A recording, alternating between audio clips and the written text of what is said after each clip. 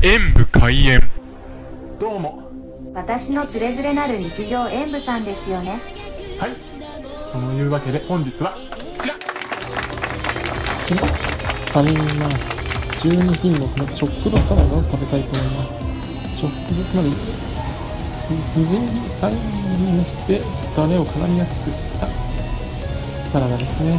どれも細かく切り抜いてよく絡みそうですね。美味しそうですしかもご丁寧に2種類用意してくれてますからね。これを使わないではないです。はい混ぜ終わりました。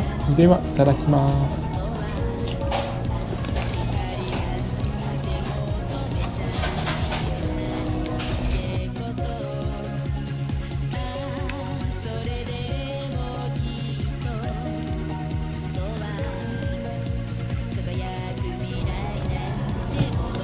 細かく切られた野菜はドレッシングとよく絡んでいましたしお肉や卵チーズざっくりとも入っている食べ応えもあったんですがちょっと量に反してドレッシングが少なかった気がしますねなので一部絡まない部分が出てきてしまったのは残念でした。あと細かいあゆに自分の苦手なあいつが隠れてるのに気づかなかったので、まあ、これは自分のせいでもありですねというわけでこちらも点数とさせていただきます。もうちょっとドレッシング欲しいかなご視聴ありがとうございました。コメントしていただけると嬉しいです。演武パソコンおよびスマートフォンのアプリの方はクリックをお願いします。